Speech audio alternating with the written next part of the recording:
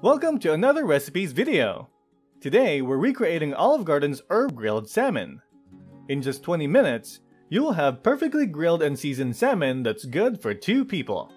But if you plan on making more or you want to get tips in making this recipe, make sure to check out the full version on our website, linked in the description box. So, let's get started! First, make your garlic herb butter by combining chopped fresh parsley minced clove garlic, and unsalted butter.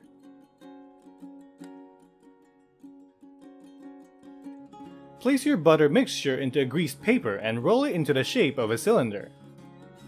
Twist the ends of your roll tightly and let it chill in the fridge. We'll be needing that later, but for now, let's go make our salmon. Now to cook your salmon, preheat a greased flat griddle under medium heat. You may also use cooking spray if preferred. Prepare two salmon fillet, roughly around 5 to 6 ounces each, using half of a lemon. Squeeze lemon juice on the salmon. Season your salmon with salt, pepper, and Italian seasoning. Make sure to coat both sides of your salmon generously. We want those flavors seeping into our fish to prepare them for grilling.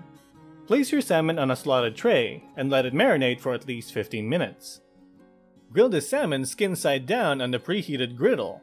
Remember to brush oil on both sides. Cook each side for 4 to 5 minutes. Cook the salmon by flipping it regularly until it's cooked through. You'll know that your salmon is cooked once the meat turns flaky. Bring out your garlic herb butter mixture from the chiller and slice half a centimeter thick ring. Return the excess garlic herb butter back to the chiller and discard any paper wrapping of the cut portion. Once your salmon is cooked, slather it with garlic or butter, and serve it with lemon wedges, a cup of rice, French beans, roasted garlic, and button mushrooms to complete. Go ahead and serve some spice up salmon at your dinner table. If you loved making our herb grilled salmon recipe, show us a photo and tell us what you think by leaving a comment down below. Hit like and subscribe for more quick and easy homemade recipes you will surely love.